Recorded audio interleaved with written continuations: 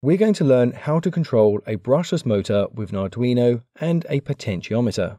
For that, we need an Arduino, a brushless motor, a potentiometer, a speed controller, a power supply, and some wires. First, we need to connect the brushless motor to the speed controller. Then connect the white signal wire of the speed controller to port 9 of the Arduino.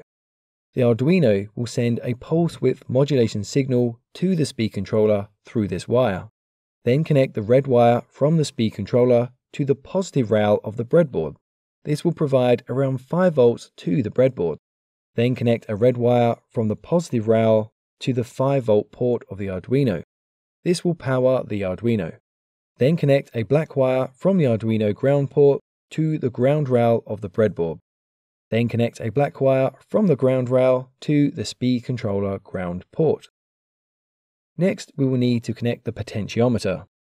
So we connect the left side to the positive rail and then the right side to the negative rail. Finally, we connect the center pin to port A0 of the Arduino. Now connect your Arduino to the computer to start writing the program. You can download my Arduino code for free, links down below for that. Then we type this code. This tells the Arduino to use the pre-built servo instruction library. A servo is a different type of motor, but it will work fine for this project.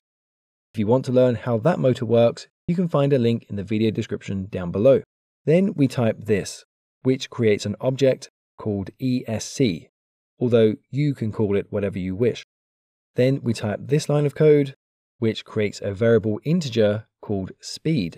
Then we type this line of code, which tells the Arduino that the object called ESC is connected to pin 9. It will send a pulse width modulation signal out of pin 9. The pulses will be between 1 millisecond and 2 milliseconds in length.